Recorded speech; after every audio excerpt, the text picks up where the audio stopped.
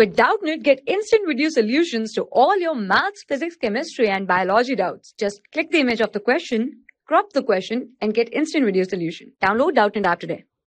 The question is Draw a labeled circuit diagram of a Zener diode as a voltage regulator.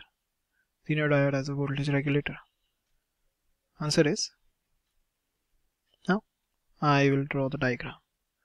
So this will look like this. So as you can see I'm drawing Zener diode as a voltage regulator. This is I2 and this is I this is RS this is RL and this is VZ this is I1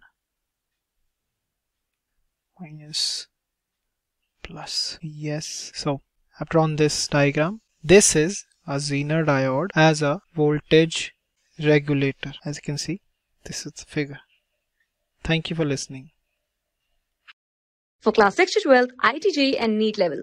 Trusted by more than 5 crore students. Download Doubtnut app today.